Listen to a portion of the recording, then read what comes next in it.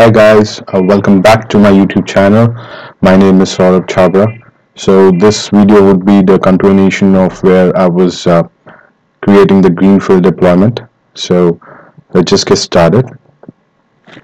So in my previous video, I told you that we have to create uh, an Excel where we would be defining what all resources we would be creating, right? So this is a new Excel where I'm uh, working with a different company where I have defined a different uh, kind of a naming standard. So what I'm doing for a resource group, it would be resource type, the region, hub and spoke, the type of, for what RG I'm creating, and then the 0, 01 or 02, the numbers, right?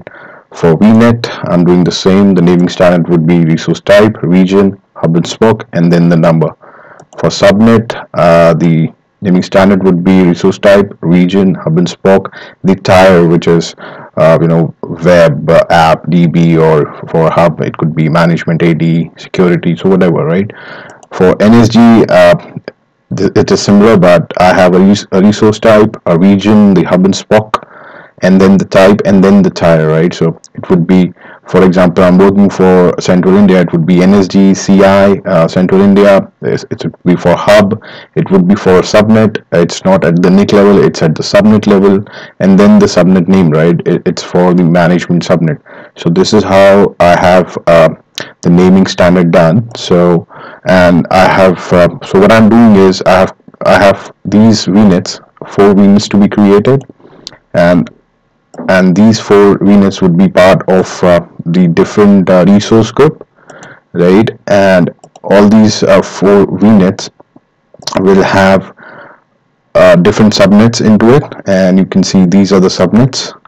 So for hub we have five subnets. For uh, spokes we have uh, different subnets. And that would be part of the different RG right? So if a subnet which is inside the spoke 1 then it will be part of the spoke 1 RG so this is how I have done. And as far as NSGs goes this again it will be part of uh, applied to the subnet level right? So if this is the uh, management uh, subnet uh, NSG so it would be applied at the management level and be part of the RG which is uh, you know having the uh, the resources which would be part of the hub network right? So this is how I have I have created an Excel sheet where I would be I've given the names so let's just try to um, deploy it. So uh, I'm really very excited uh, when I'm trying to um, show you how to create these resources from Terraform. So let's just uh, go to my uh, Visual Studio Code. I have created a few files where I have defined the main uh, file which includes my code. Uh, it's a very uh, big code I would be creating few videos where I would be discussing about what all things we have to create and how to create different files and what all files need to be. So I would be creating a series for Terraform as well. But this video is kind of uh, just to uh, give you a brief idea how uh, we can do things uh, uh, you know in a very automatic uh, you know aut automation way and, and then we can deploy our infrastructure through Terraform. So this is the main code file where it is the main.tf and uh, then we have variable file where I have defined all the variables.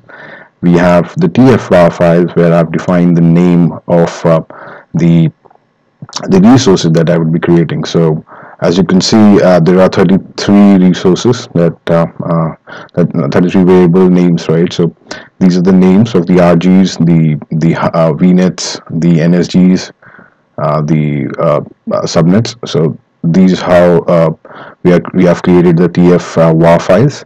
And let's just uh, go back to the main file. I'll just uh, briefly show you in the code uh, these are the provider and uh, so we are creating the resource group from this particular block. And then we have a separate you know block for virtual networks. We have a separate blocks for subnets. And then we have separate blocks for NSGs and then we have separate blocks for the association between the NSGs and uh, and the subnet.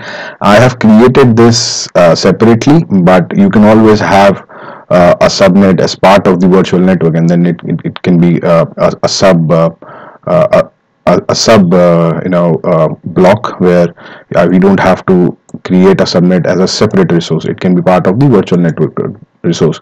But uh, the best best way to create the uh, you know have a sustainable uh, code is to have uh, resources separately defined separately so that it can be used uh, uh, you know in a different way and it can be reusable. So let's just try to do the terraform plan and let's see if this code works and uh, terraform plan is a command where uh, once uh, you execute this it will show you what all things would be provisioned at your uh, uh, cloud level. So it's running in the background. I have already authenticated with my current uh, subscription at azure level. And once let me just show you so this is my subscription. I'm into the subscription at the resource group level. I have selected location as central India. I just wanted to show you that uh, these are the only resource groups uh, that that is available currently. And once we you know create the infrastructure it would be created at uh, it would be created right? So if you can see uh, this is the main thing where uh, when the plan command went it says that 44 to add. This means that it will add 44 resources and it is uh, there is no change because this is the first time we are uh, hitting this zero to destroy. So this is how uh, you know the plan command executes in terraform and give us the output where it'll it'll show us that what is added what is changed and if you are deleting something so zero to destroy. So let me just execute the terraform command apply and I'll just auto approve it auto approve so it'll do its magic and it'll gonna create the infrastructure for us one by one and it'll create the resources. And what we can do is while it's performing its uh, task we can go to the uh, resource group and you know hit on refresh and to see what all things it would be created. Meanwhile it is creating uh, different stuff. I want to discuss about the file structure in in in the terraform right? So in terraform we have different files right? Main file output file variable file terraform uh, .tf var files. We can have different files like provider files. And and once uh, we hit it we will have a state file and the state backup file. So currently whenever uh, terraform creates an infrastructure it creates uh, a state file and it it's a declarative uh, uh, language and it tool right? So it will it will deploy stuff and it will see your current state file. If you are changing anything it will go back to you know uh, uh, review at the st uh, state file and to see if you are creating anything if there's already things or if you are changing anything right? If so this is how terraform works. And um, so if you could see here right it is creating stuff and I'm just gonna go back to the RGs and I hope they are creating few okay. Yep so if you could see here are I have just refreshed it. It's already there halfway through. I wanted to see how many things they have created. It has already created a, a VNet right?